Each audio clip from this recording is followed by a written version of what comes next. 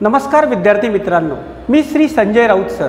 सोमय्या विद्याविहार मुंबई संचलित सोमय्या विद्यामंदिर साखरवाडी या विद्यालयात शिक्षक म्हणून कार्यरत आहे. आज आपण इयत्ता दहावी एन टी एस अंतर्गत बुद्धिमत्ता या विषयातील चिन्हांचे बदललेले अर्थ या घटकाविषयी माहिती पाहणार आहोत. मित्रांनो या घटकामध्ये बेरीज वजाबाकी गुणाकार आणि भागाकार या चिन्हांचा अर्थ प्रचलित गणिताच्या नियमानुसार न घेता तो वेगळा घेतलेला असतो. म्हणजे बेरजेचा अर्थ कधी गुणाकार गुणाकारचा अर्थ कधी वजाबाकी अशा पद्धतीने वेगळा घेतलेला असतो. तो आपल्याला त्या गणितामध्ये शोधून काढावा लागतो आणि नंतर ते उदाहरण सोडवावं लागतं.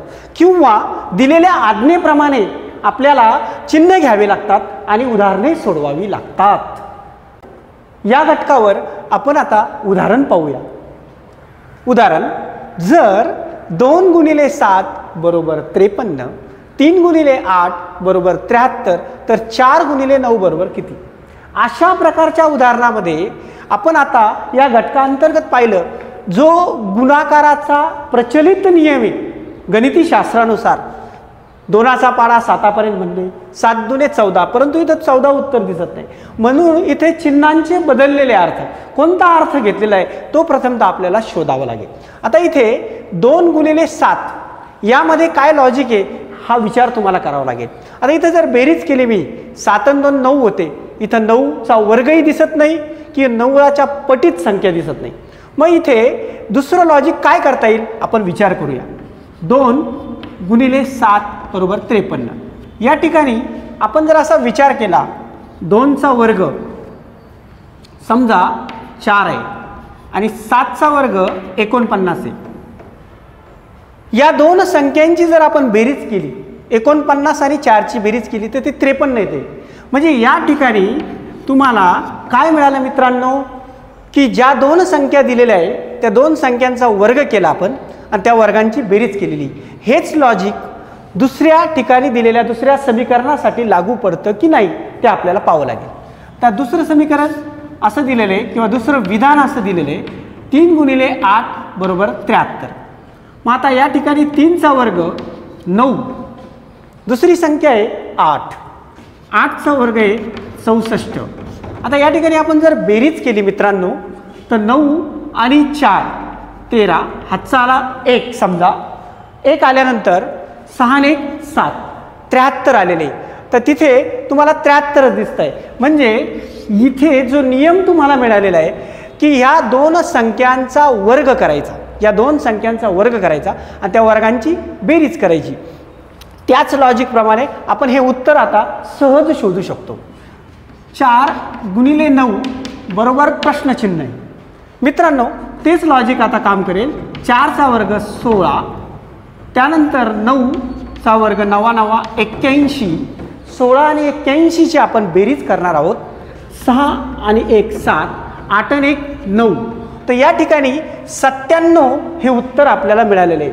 दिलेल्या ऑप्शन्समध्ये दिलेल्या पर्यायामध्ये पर्याय क्रमांक एक हे उत्तर इथं बरोबर आहे. अशा पद्धतीने आपण उत्तर शोधू शकतो. आपण पुढील उदाहरण पाहूया. जर नऊ गुणिले चार बरोबर सत्तेचाळीस आठ गुणिले दोन बरोबर एक्केचाळीस तर सात गुणिले चार बरोबर किती? या ठिकाणी आपल्याला चार पर्याय दिलेले आहे आता त्यातलं पहिलं जे विधान आहे ते आपण घेऊया. नऊ गुणिले चार बरोबर सत्तेचाळीस. आणि इथं वेगवेगळ्या प्रकारचा विचार जर केला याचा गुणाकार जरी केला नऊ चोक छत्तीस किंवा नऊ आणि चारची बेरीज केली आपण मित्रांनो तेरा आली. तेरा सण सत्तेचाळीसचा काही संबंध लागतो का? नाही लागत आहे. वजाबाकी करून पाहिली. नवातून चार गेलं. तरी त्याचा याच्याशी काही संबंध लागत नाही. मग इथे कोणत्या प्रकारचं लॉजिक लागेल याचा विचार करावा लागेल आपल्याला? तर थोडंसं निरीक्षण केल्यावर तुमच्या असं लक्षात येईल दोन्ही विधानं की इथं नऊ गुणिले चार याचा प्रचलित अर्थ तो न घेता डायरेक्ट चौऱ्याण्णव जर आपण घेतला चौऱ्याण्णव घेतला आणि चौऱ्याण्णव आणि सत्तेचाळीस यामध्ये जर संबंध तुम्हाला सापडला की चौऱ्याण्णवच्या अर्धे निम्मे सत्तेचाळीस आहे मित्रांनो. म्हणून चौऱ्याण्णवला जर दोनने भागितलं तर सत्तेचाळीस येतात.